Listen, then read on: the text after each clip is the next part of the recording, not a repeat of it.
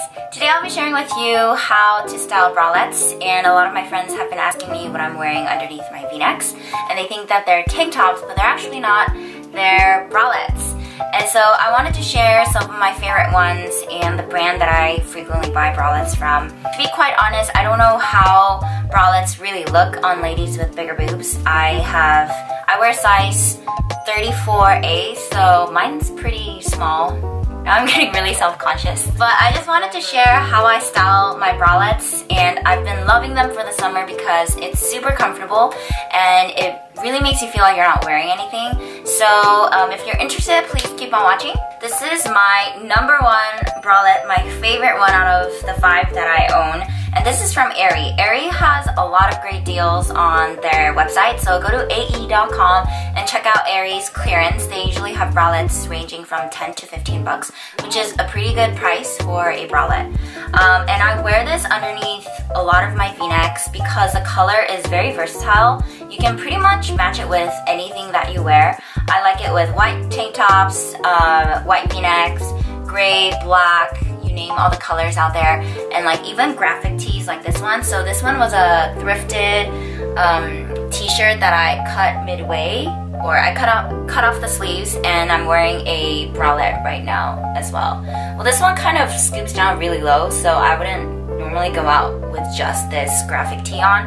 Um, that's why I have this flannel on. But I really love this crossback so if you want to try out a bralette, I would go to Aerie. This is size small, but I usually wear size small or medium depending on how loose I want it to be on my body. The next one is an oldie but a goodie. I've been wearing this for almost four years and it's still in pretty good condition. Um, I like this one because the strings are adjustable and it's just a classic bralette that you can wear under any big oversized t-shirt. This one I recently bought online. It was 10 bucks, which is a really great price for a bralette. And I love this one because the top is very high. And so if you have a tank top that scoops down way too low and you don't want to wear a cami underneath, and it just looks awkward with everything else, um, I wear this bralette to cover up my chest area and it just looks really pretty because of the lace, of the white lace that kind of sticks out. And I love the back.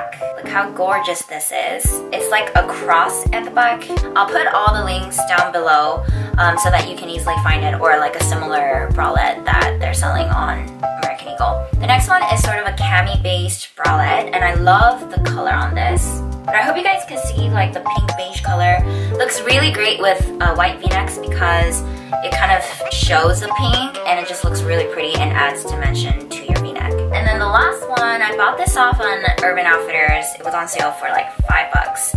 So I grabbed it. I don't usually like Urban Outfitters bralettes because the material is kind of cheap and they don't stand very well. But I love this because of the back. Just look at that pattern. This one was quite comfortable and so I was really surprised. Um, I wear this with tops that scoop down at the back. I don't really like showing my back when I'm wearing tops because I have a lot of acne down there. And so I like to wear it to cover my acne and also to make it a little bit more like concealed. Those were all my bralettes. If you found this video helpful, please give it a thumbs up and subscribe right here to my channel. I'll be uploading every week.